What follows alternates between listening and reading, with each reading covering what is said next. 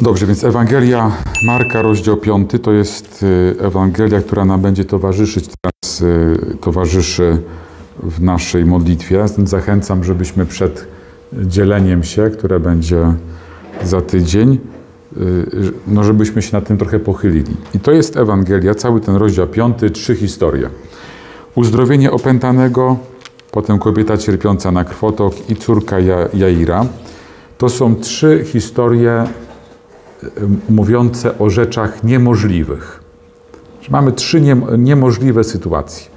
Jedna to jest człowiek opętany, którego nikt nie mógł poskromić. Czyli nikt nie mógł mu pomóc. Krzyczał w niebogłosy. No, był, był tym, który, któremu nikt nie może pomóc, na takiej zasadzie, że musimy go znosić i nic się nie da zrobić. Potem mamy kobietę cierpiącą na krwotok. Od 12 lat nikt jej nie mógł pomóc. Czyli jest w sytuacji, nie, nie można mi pomóc, muszę tak żyć. I w końcu córka Jaira, która umarła. I znowu, skoro już umarła, no to, to już jest koniec. I to jest, to jest pierwsza, pierwsza taka, to jest też mianownik, co, który tutaj mamy wspólny dla tych historii. To są historie naszego życia również, które warto, żeby w tej Ewangelii zobaczyć, czyli przejrzeć się, że to jest też o moim życiu. Wszystkie sytuacje, w których widzieliśmy, nie da się nic zrobić. Już się nie da nic zrobić. Wykorzystaliśmy wszystkie możliwości, zrobiliśmy wszystko i to, co nam, to, co nam się wydaje, to jest koniec. Już za późno, nie da się, tak jak te spętane łańcuchy, tak jak krwotok, który nie ustaje, czy śmierć, która przyszła i już jest koniec. Y, zachęcam, żebyście gdzieś w myślach wrócili do takich sytuacji, czy sobie zobaczyli je, y, że no bywają takie momenty. Im ktoś jest starszy, tych sytuacji ma więcej, gdzie wszystko mówi już poddaj się, bo nie, głową muru nie przebijesz. Tymczasem znowu jeszcze i jeszcze i się okazuje, że Bóg znajduje rozwiązanie i, i przeprowadza suchą nogą po morzu, bo ma taki plan. To jest możliwe tylko w Bogu. I, I, tak ta Ewangelia prowadzi. Każda z, z, tych historii idzie w takim właśnie kierunku. Druga rzecz to jest taka, że y, w każdej z tych sytuacji mamy inną postawę czy inną wiarę człowieka, który jest uzdrowiony. W przypadku kobiety cierpiącej na krwotok mamy jej wielkie pragnienia, czyli wyciągniętą rękę, robi wszystko, żeby iść w kierunku Jezusa. Potem, czyli taka jest kondycja serca. Jeżeli chodzi o tego człowieka w kajdanach, to jest człowiek, który woła do Jezusa: Czego chcesz od nas? Czego chcesz ode mnie, Jezusie, Synu Boży? Zaklinam Ci, nie dręcz mnie. To są Jego słowa. Tam nie ma żadnego pragnienia. Tam nie ma wołania, Panie, przyjdź i mnie uwolnij, Ty możesz wszystko, potrzebuję Twojego uwolnienia. E, czyli mamy taką postawę, gdzie demon mówi przez człowieka, gdzie tak, tak wielkie zło jest i on stoi przed Jezusem. I wreszcie córka Jaira, która po prostu umarła. Więc inni proszą za nią, wstawiają się za nią, ale ona umarła. Czyli nie ma, w niej nie ma czegoś takiego, że teraz Panie przyjdź i uzdrów mnie, bo już umarła. Chociaż Jezus mówi, ona tylko śpi. Ale ludzie uważają, że umarła. E, a to oznacza znowu, że pomimo różnej kondycji naszego serca, bo czasem bardziej pragniemy Boga, czasem się bardziej wypinamy na Boga, a czasem już widzimy, że już wszystko w nas umarło, nie mam pragnień, już mi się nie chce, nie widzę już nadziei. I, I, to wszystko, co niezależnie od tego, jak to wygląda w nas, to Bogu nie przeszkadza działać. I to jest, y, to jest coś, co możemy też zobaczyć i jakoś to odnieść do siebie, że jednym razem się zdarzyło tak, że jednym razem się tak zdarzyło, że e, coś, e, no po prostu bardzo chcieliśmy, bo były rekolekcje, była spowiedź i, i coś poszło, dlatego że mieliśmy wielkie, gorące serce a innym razem zupełnie nam się nic nie chciało, ale jakieś słowo do nas trafiło. Poszliśmy na spotkanie w tym nie, tej niechęci do życia i się okazało, że coś pięknego się z tego urodziło. Dalej w tych trzech Ewangeliach, to, to co mam, tych, tych trzech momentach tego rozdziału Ewangelii, mamy coś takiego jak przeciwności losu. Czyli osoby, które są dookoła i tłumaczą nam, że się nic nie da zrobić. I te przeciwności losu to niekoniecznie muszą być ateiści. To niekoniecznie muszą być ludzie, którzy gdzieś tam nam, nas trochę dręczą odnośnie wiary, czy męczą z tego powodu. Raz to będą osoby, które, które widzą, że jeżeli chodzi o opętanego, no to już wielu próbowało.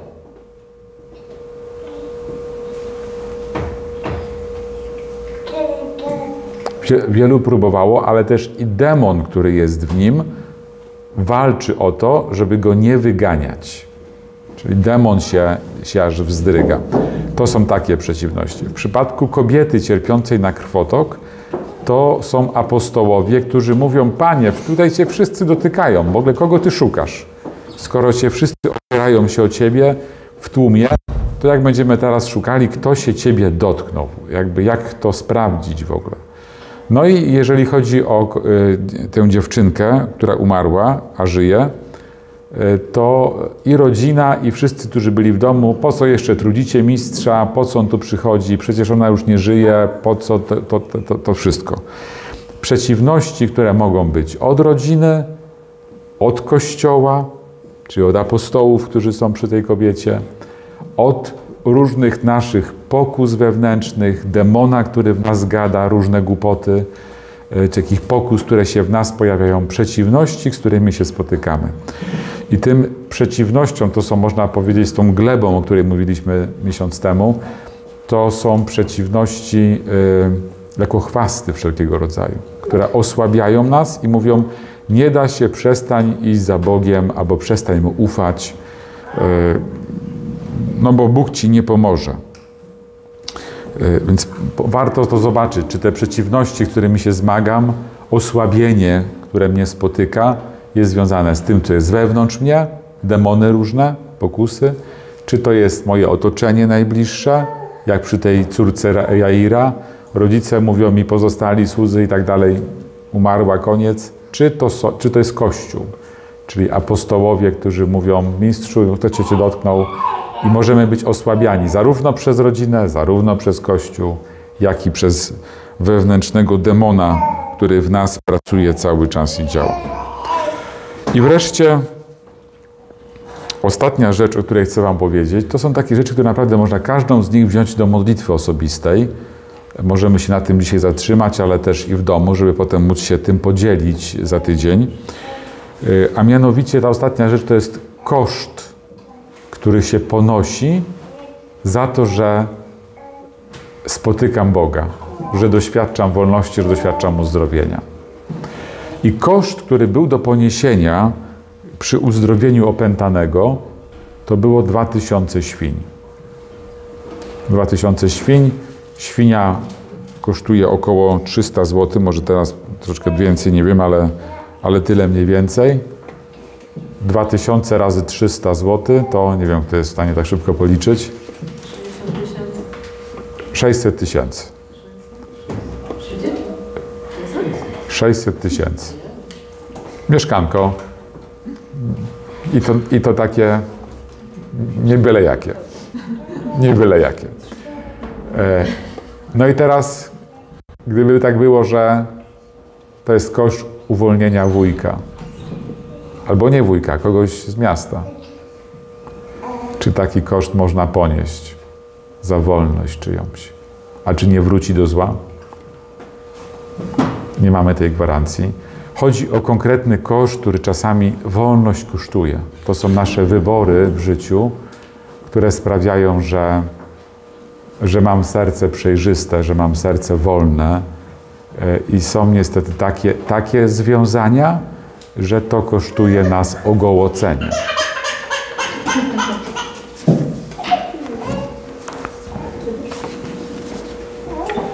Jaśmina, co się dzieje?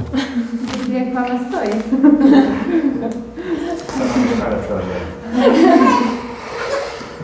E, jeżeli chodzi o koszt przy, przy tej kobiecie cierpiącej na krwotok, to jest jej koszt, który polega na tym, że ona wychodzi z tłumu, a będąc kobietą, która ma upływ krwi, była nieczysta, a dotknęła się Jezusa, czyli sprowadziła na Jezusa nieczystość.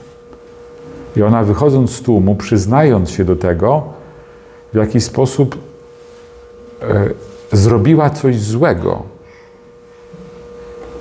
Dzisiaj to jest dla nas mało zrozumiałe. Dzisiaj to tak jakbyśmy powiedzieli, że nie wiem, ktoś nie był wyspowiadany, a poszedł do komunii. To jest mniej więcej to samo. I czasami jest taki żal, że to wystarczy. Może teraz pomyślicie, że to, co mówię, to jest, to jest herezją, że musi być spowiedź, że tego. Musi być spowiedź, ale czasami jest tak, że jest taki żal doskonały, że to wystarczy.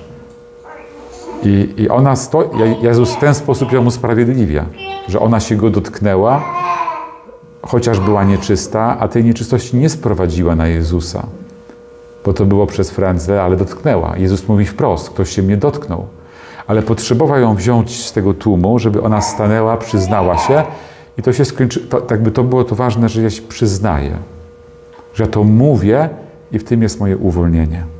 Przyznałem się i Jezus jej nie potępił, nie odrzucił, po prostu jej powiedział córk. To jest to stawanie w prawdzie, którego potrzebujemy i to jest cena wolności. To jest cena, którą niewspółmierna do tych 600 e, e, tysięcy, Chociaż czasami takie stanięcie w prawdzie wydaje się dla nas większym kosztem niż, niż tamte 2000 świń. No i koszt, który jest przy córce Jaira, to jest ten koszt zaufania, że idę do dziewczynka umarła, a Jezus bierze rodziców, paru uczniów, ona żyje. I ten, przecież wiemy, że umarła. Był lekarz, jest stwierdzone, umarła a, a teraz zaufać Jezusowi, że On, nadzieja wbrew nadziei, że On jest w stanie sobie z tym poradzić. I to są takie sytuacje, gdzie robię krok, chociaż wszystko mi mówi nie rób go, bo już jest koniec, pozamiatane. I robię kolejny krok, bo wierzę, że Chrystus ten krok dalej poprowadzi. To jest jakieś wydanie się na ośmieszenie. Różnie to może wyglądać. Więc y, takie trzy historie, one, one z jednej strony są, każda jest inna, mówią o tym samym, ale na różny sposób i bardzo Was zachęcam do tego, żeby w modlitwie, przed Najświętszym Sakramentem, jak zaraz będziemy, ale też e, jak przed dzieleniem, które będzie za tydzień, żebyśmy spróbowali popatrzeć na siebie w tych trzech historiach. W każdej z nich możemy się odnaleźć, każda mówi o nas, o naszych krwotokach, naszych związaniach, o naszej śmierci, e, jakimś oddzieleniu od Boga. I Bóg, który chce nas wyprowadzić i uwolnić, bo On ma moc. Dobrze, to tyle, jeśli chodzi o, o słowo.